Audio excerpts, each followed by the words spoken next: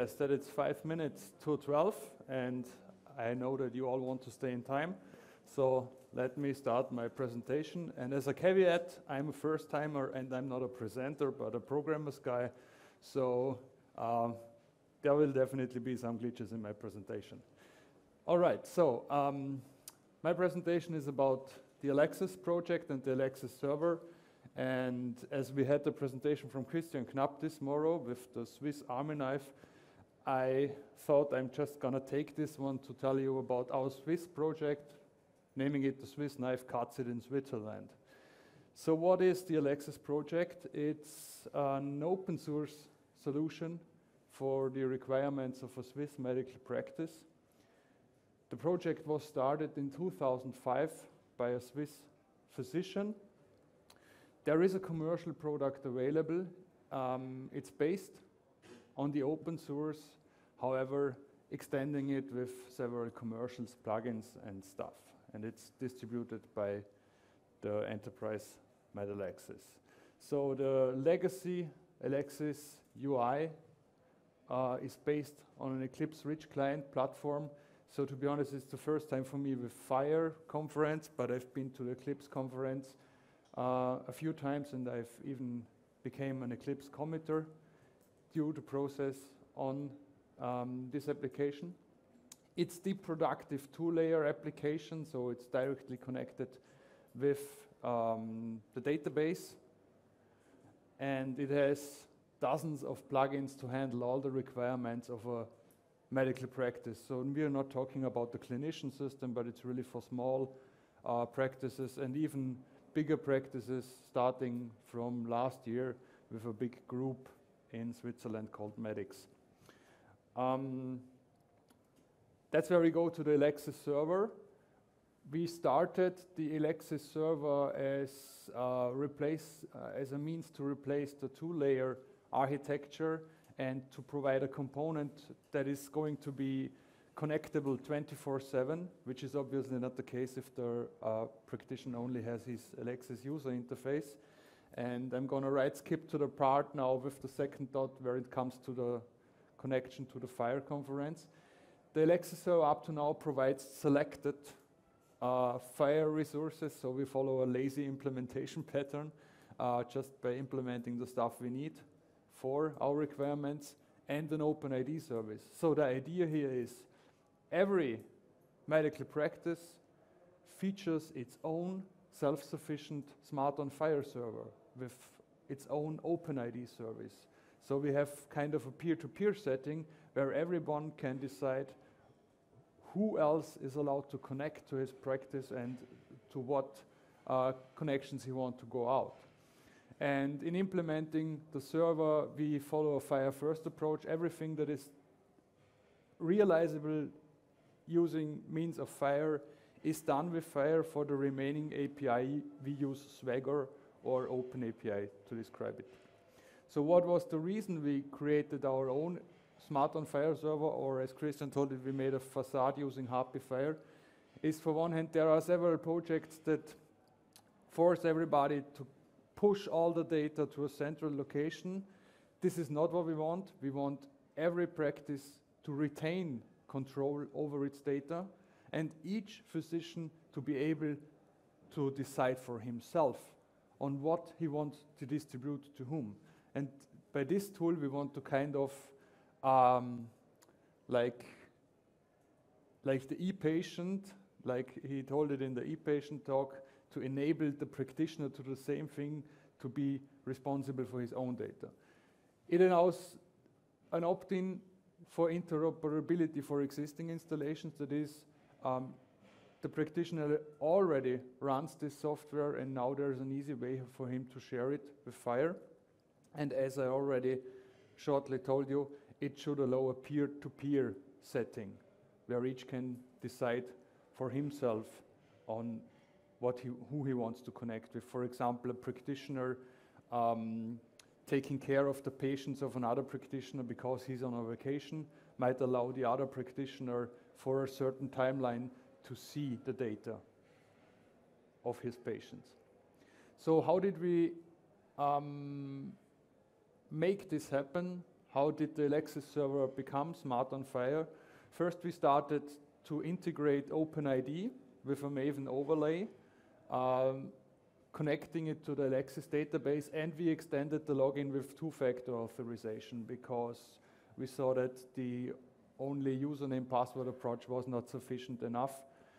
Then we implemented the HAPI FHIR resources with a facade, so we mapped our own model to the FHIR model, and it's interesting to see that this is quite, quite straightforward.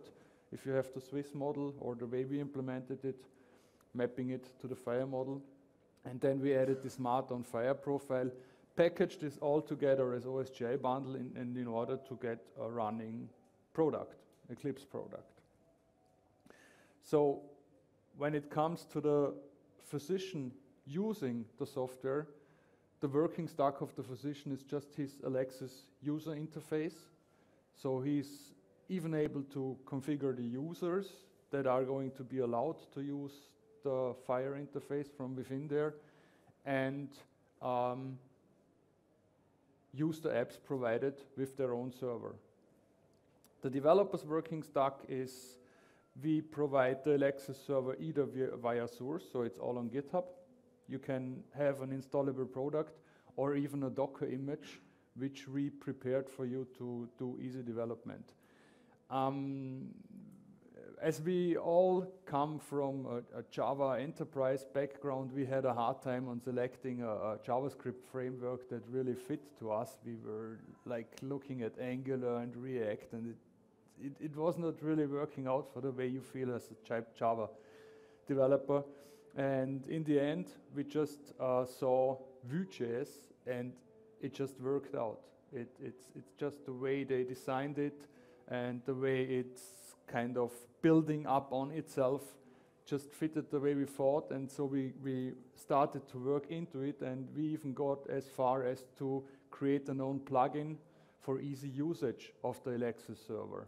Okay, so this is this is pretty new stuff all uh, on the last three months, I guess. So I I come from a Java setting and I'm a pretty newbie in a JavaScript setting, but it seems to really work out quite good. So for all of you who are not familiar with this, this is the JavaScript framework. And as far as I've read, it's gained a big momentum. For example, it's used within GitLab, which we also use internally. And I think that it's not going to go away quite soon.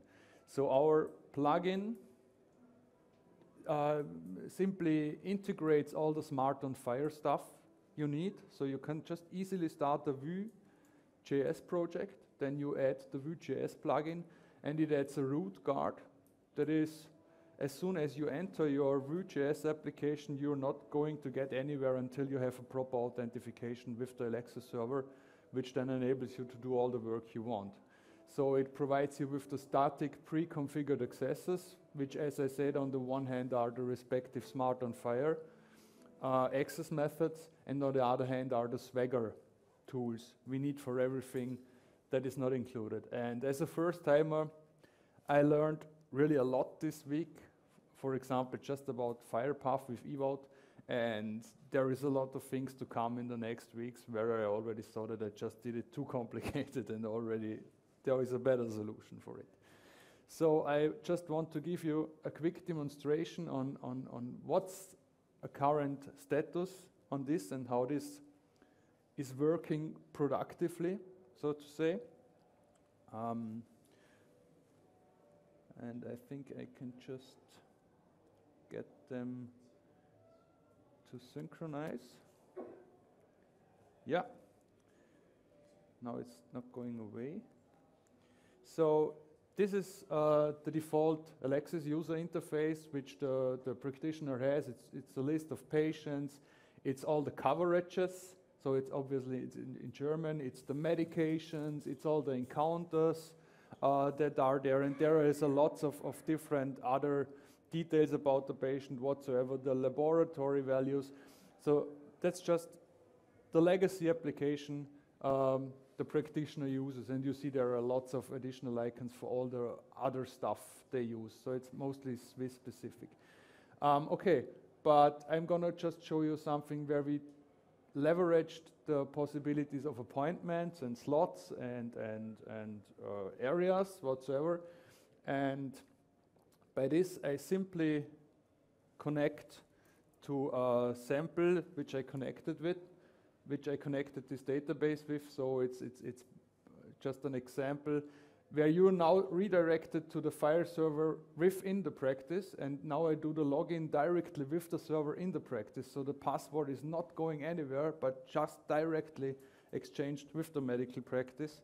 And as you can see, I, we extended it a little bit more with giving you the name of the practice you're connected with, and uh, the two-factor authorization, which is just time-based. So I have this tool. And after a login, after the login, I'm getting connected with the Vue CLI. Honestly, it does not look that much. I'm a programmer, not a designer. But uh, it should show you the thing, so I can select the, the area. Currently, for this conference, I just did the, the, the rooms, the Louis and, and cars. Other things are just like the waiting room whatsoever. And if you go here, you can see about um, the talks, and I can, for example, change the state here. If you see patient-generated health data is in state not yet started, so this should generally assemble the state of a, of a patient. And so we can say now, okay, uh, like the physician is with the tablet, and he says, okay, this one is done. Um, and afterwards, it's refreshed, and you get the info here, patient-generated health data with consent. This one, so let's see it. Um, and with the refresh, you see that it's turning green in here. It should be turning green in here. Yeah. No matter what. So I, it, it worked like 10 times. I tried it outside on the couch, but Murphy Murphy sitting in here somewhere. I don't know. Okay, um, so this is the state of um, our our FHIR project at the moment, uh, and there is going to be happening a lot in the next months to come. And if you want to try it at home, um, it's pretty easy to do so. There's a pre-prepared Elexis demo server, it's, it's really self-sufficient. It has a demo database, you find the description. So by just executing this, you get a server running. And I have a tutorial on how to do a very basic implementation, and you can even connect your Elexis user interface, it's all open source, and have a look at it. Um, yeah. There is some links So that's from my side what I wanted to show you. Thank you very much.